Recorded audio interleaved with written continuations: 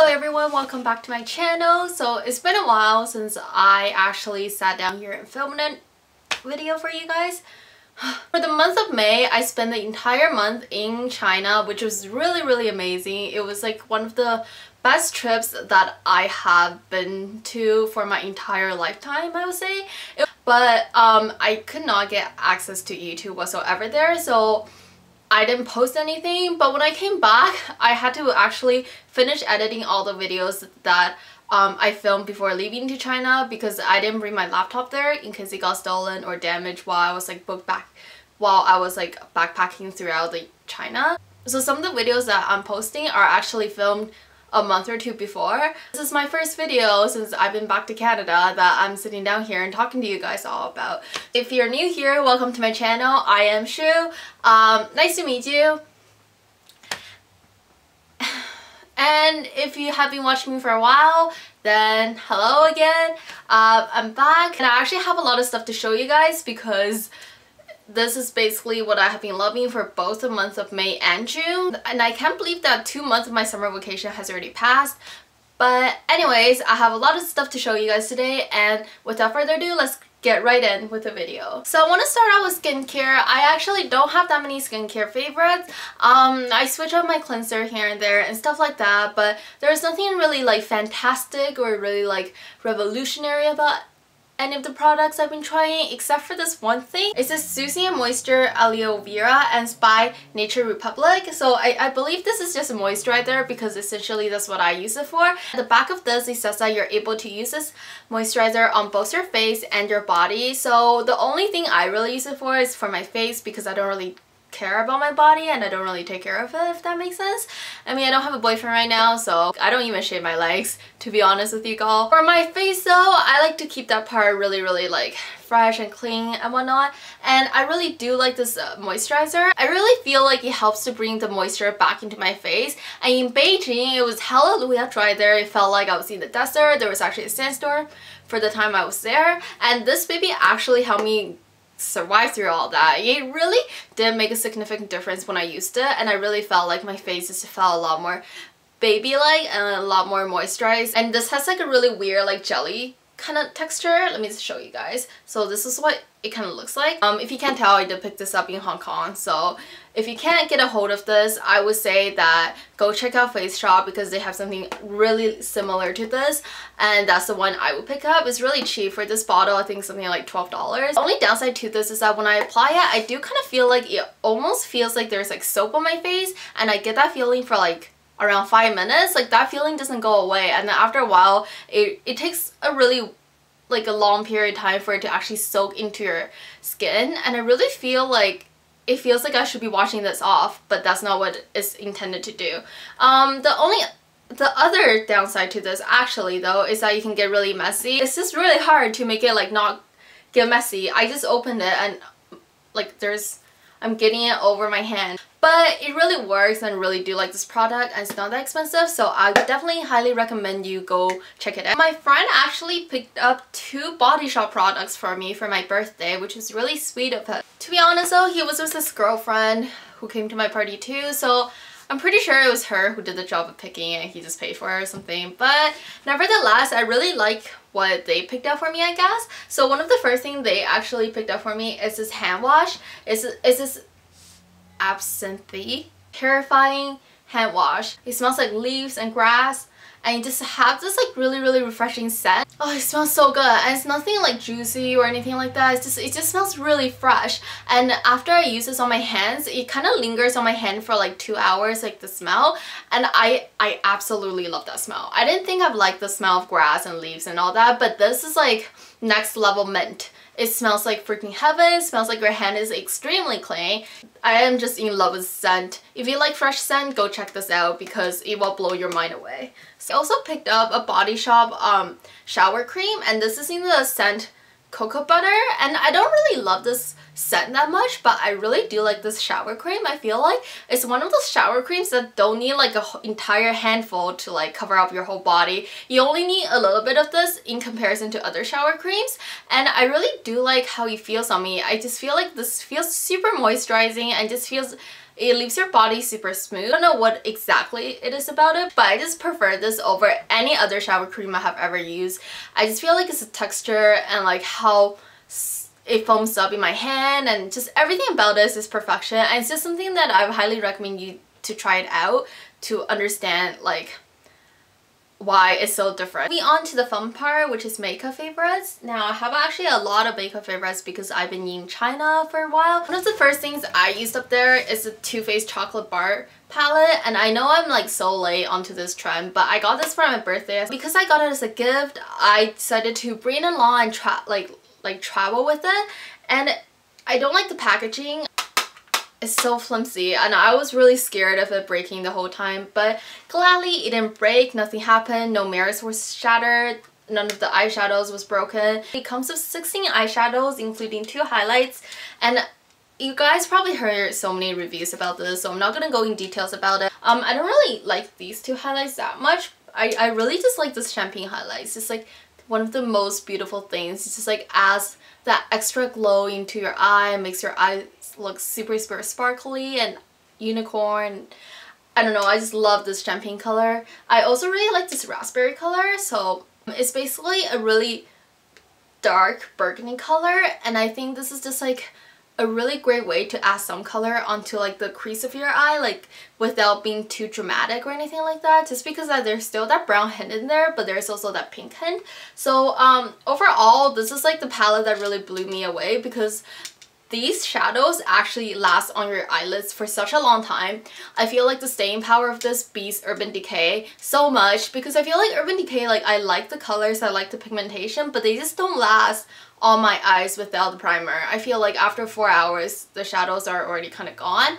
But these shadows, however, they last around at least 6 to 7 hours in really humid climates and in really dry climates as well. Another eyeshadow I have been loving, like an individual eyeshadow, is basically the Maybelline 24 Hour Color Tattoo Eyeshadow in Eternal Gold. You guys probably have seen this before, but it's just this one color that like really blow me away. So this is what it looks like and oh my god this color is actually like freaking heaven.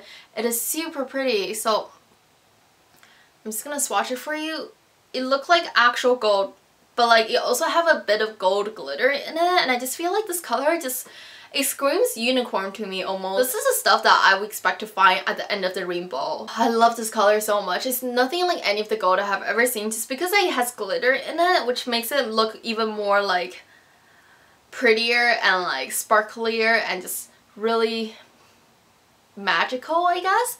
If you have brown eyes this is bound to make them pop like no other color. And I don't know if this is the same color as the one you find in America because I did pick this one up in Hong Kong. So I don't know if this is like a Hong Kong exclusive e eternal gold color or not. Um, but if you are going to Asia I would highly recommend you go pick up the color tattoo by Maybelline.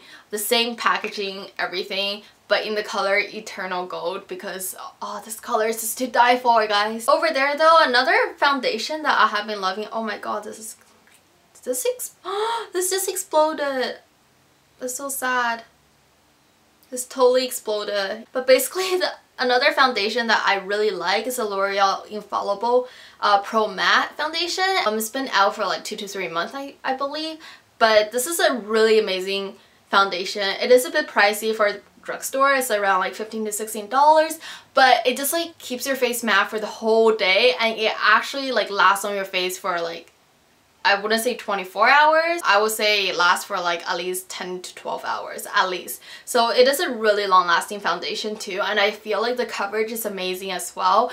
Um, it gives off a really really natural look while still being medium to heavy coverage. I really like everything about this foundation. It's a truly matte foundation and man, like this is just like the bomb.com. Like it just, it's just like the best drugstore foundation. It feels lightweight on your skin as well. It doesn't have that like gross like foundation feeling. It's heavy coverage. The only thing I, I would say it needs to improve on is basically packaging because as you can see, I am not happy with how all my foundation is getting everywhere inside the cap and how I have to clean that up now. So um, yeah, there's that. I am in the shade 105 Natural Beige if you're wondering as well. So while we're on the topic of like foundation stuff, I want to tell you guys about my favorite tinted moisturizer.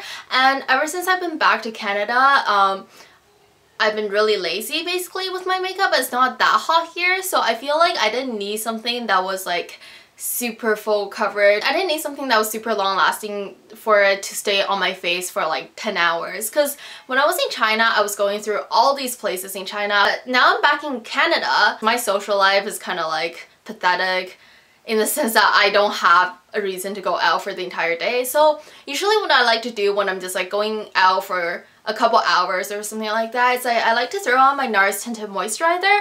Now this moisturizer is really really sheer. I would say well, for a tinted moisturizer, it's alright I guess. This tinted moisturizer, it really gives you nice and glowy skin. So if you're a fan of glowy skin, like the summer bronzy skin kind of thing, then you will love this because I feel like when I'm wearing this and when I have my highlighter on, I feel like I am just a bronzed up princess. I feel like I'm those Egyptian goddess. I feel like, I don't know, I am just like the sun queen or something. And I love that it gives me that radiance glow. And the best part about it is that it looks really natural. It doesn't give you like a glittery glow or anything weird like that. It just looks like you've been out in the sun all day and just really gives a super super natural glow which is something I really love. It only lasts around two to three hours. I'm gonna be honest, the lasting time isn't that long, but the effect it gives is amazing. And they also have SPF 30. This is a bit more expensive of a product. It's something like $50. I don't know if I would necessarily repurchase it if I ran out of this immediately, but I still really like this stuff. I think it's really good stuff if you like glowy skin. Because we're on the topic of glowing skin, and um, I just want to show you guys two highlighters I've been loving. I have been loving these two combined together. I feel like this is what gives me life. So one of the things I picked up before going to China, I didn't actually bring this to China, but I bought it before going there. Um, it's a Becca Shimmering Skin Perfector. And Becca makes one of like the most amazing um, highlighters, I feel like. And this one is basically their classic color in the color Opal, which if you guys don't know is kind of this like golden like golden beige color. So this is what it looks like. They also have this in the powder form, but the one I picked up is basically in the liquid form. And I got it in like the smaller size because I am never gonna use up like a big size. The thing that I really like about this highlighter is that it looks super super natural but it makes a significant difference. It really fakes that glow within look super super well. It makes you look like golden like goddess but it does it in such a natural way. I feel like this just makes your skin looks a lot lot more dewy and healthy. Another highlight I love to use in conjunction with this highlighter is basically the Secret Beam highlighter and I believe this is by Etude House. So this highlighter was actually kind of pricey, was something like $20 for this highlighter. Um, but it is a really good highlighter. So when you swirl these colors together, it just gives you the most pretty glow. So this is what it looks like and it just creates a really really pretty golden glow. This is more of a true gold than something like the Opal um, highlighter because I, the whole Opal primer has like a bit more beige tone into it whereas this one has a lot more of a golden tone into it. It just creates like the most beautiful highlight ever. I am wearing it really lightly today on my cheekbones if you guys can see. Um, just kind of lightly because I don't want a harsh line. I'm not using the Becca Opal one today just because I got kind of lazy but these two together though are seriously the bomb.com and I can't say enough good things about these two. I just, I really like these two highlighters. Before leaving to China, I remember that contouring was like such like the biggest thing in the makeup industry. So before I left for China, I actually picked up the Kat Von D Shade and Light palette. I am a bit late on this palette because I thought that I didn't need it because I still had like my Hoola bronzer which is amazing. That's what I brought to travel with me by the way. Um, and I also have my Bahama Mama bronzer which I thought those two were still really really good products to contour with. But this is really life changing. It really is. And I still love my Hoola bronzer that is the thing that I have brought with me on my trip to contour with and that really does work really well it's just that I feel like these powders are a bit softer and easier to blend For the Hoola bronzer you kind of have to be careful with because uh, it can come off as a little bit muddy and even though these are have like a gray tone in them which makes them really good for contouring as well. Uh, they don't come out as muddy. With a Hoola bronzer you kind of have to build it up but you don't want to build it up too much because then it will leave like a really harsh line across your face. But for these, I feel like you can really go wild with these so that if you do mess up, it's really easy to go over it with a brush again and to correct it and just blend it out. I feel like this shade is way too dark for me, but I still like using this with a light hand. These two shades, usually I mix them together to create that perfect color um, for my skin tone. I haven't really used any of the highlighters yet because right now I am really liking that glowy skin. For like $50, I think you're getting a crap load of product here that will probably last you a lifetime. So I think this is like the best investment you can make if you want like anything to do with contouring and I really do like this palette and I will highly highly recommend it. So if you guys haven't noticed, I colored my hair. Hope that you guys like it. If you guys don't like it, please don't tell me because I don't know, I, I like to hear good things about myself. So let me be narcissistic that way. So I didn't really want to dye my eyebrow hair into like this like blondish color in case that my hair grows out or anything like that. It's also like a hassle. Um, I needed something to basically lighten it up. And what I've been loving is this Too Faced Color My Eyebrow little eyebrow gel. And this is basically what it looks like. So it basically comes in this like brush form. It has like the brow gel inside like this little tube here. And what you do is what you do basically is that you just brush it through your eyebrows and they just really help to color them in and make them like a bit more like yellowish toned they really help to like lighten them up I feel like. If you dyed your hair just looking for a way to make your eyebrows lighter or anything like that, I feel your pain. Go buy this now. You can thank me later. When I was on YouTube, I heard a lot of people talk about this gray lipstick, which is by MAC in the color Stone. And a lot of them were talking about it in the pencil form, but now apparently there's like a new lipstick form of this color. So I got it because I thought it was just like the most amazing color ever. Um, so this is what it looks like. Dun dun dun dun. Um, this lipstick though is, oh my god, my hand. This lipstick is literally like in a gray color. It's like in this like taupish grayish color and I feel like I don't know, it's just really really different. And when I first tried it at the MAC store and I took a look in the mirror and I just like I backed up. I was just like oh my god that is way so way too harsh on me. Using a matte formula as well so it just made me look really really dead and I don't know it just it didn't look as good on me as I thought it would. So I told the girl, I was like, yeah, I think this is a bit too harsh for me. So she's like, okay, well, like, if you want, I can try it with, like, a nude liner underneath, which is what we did which is what I did today. I love the results of this on top of a nude lipstick. It makes it look a lot more like less harsh and it really tones down the color as well. It makes it into this like nudish color that has a gray tone in it which I really really liked. It is what I'm wearing today. What I put on top of it is this Essence Extra Extra Extra Large Shine lip gloss and I oh my god I love this lip gloss so so much. It's just like one of the prettiest lip gloss. This is the number 8 Glamour to Go. It comes with one of those like sponge tip applicators. So um, this is basically what the color looks like. It kind of looks like like a mocha-ish like glossy color kind of thing. I don't know. This is just a really, really pretty color though. I know the trend right now is all about matte lipsticks and whatnot, but some colors like this color can just make you look completely flat uh, just because it's like dark and it looks like and your lips is all like matte and it, I don't know, it just I look like a zombie almost.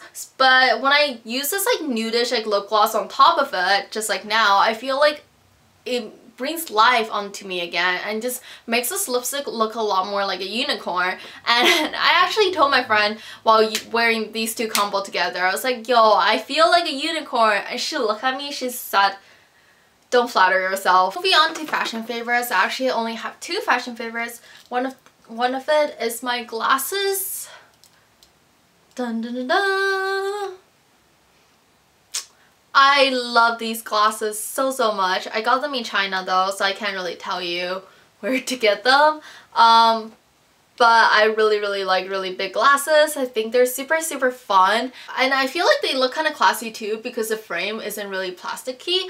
You can find really similar glasses in Urban Outfitters and sometimes you can find really similar glasses in like Forever 21 as well. Basically they these really reminds me of the Quay sunglasses and I can't afford the Quay sunglasses so these are what I got. If you are looking for sunglasses and you're Asian I would highly recommend you go find something that has a nose piece because we Asians are pretty flat nosed most of the time not being racist most of the time um, and I definitely think that we need this in our lives or else those glasses are just gonna slip right off. Another fashion favorite I want to talk to you guys about though is basically this jacket and this is a varsity jacket that I picked up from Urban Outfitters. I, they're on sale right now, I think. Mine was like the last one there, and I think it was like $20 when I bought it.